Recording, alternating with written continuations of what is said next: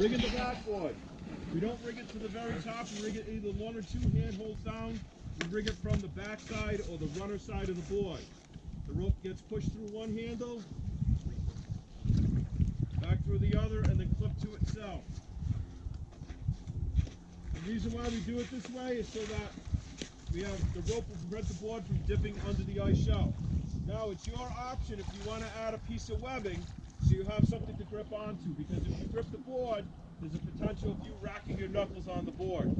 So you can simply just take a piece of webbing, do a girth hitch, and attach it so you have something to grab onto. One of the recommendations I always tell people is take that webbing and dip it through one of the handles at the bottom. And that way when it goes in, you can find it at the side of the board.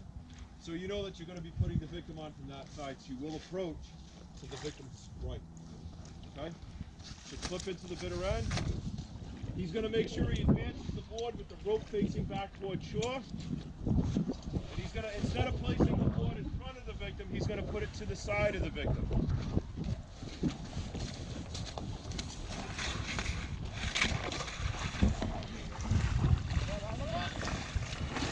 He's going to enter the hole. Also reflex, feet first, maintaining eye contact, grip the suit. He's then going to take that board and jam it down into the hole as far as he can get it, making sure they have tension on it from shore. Tension. Pulls the victim onto the board, allows the feet to float up of the board. He's then going to grab his strap. If he cannot find the strap, he can grab the board, hold on to the victim, give the signal, and they extricate it from the water. Position the board to the side of my victim. I'm just going to let it go. If he holds it, that's fine.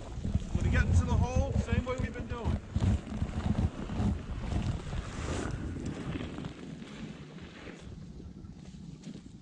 Now I'm going to grab my board and pull it right down into the hole. Tension. I just slack, I'm sorry. That's good. Pull my victim onto the board.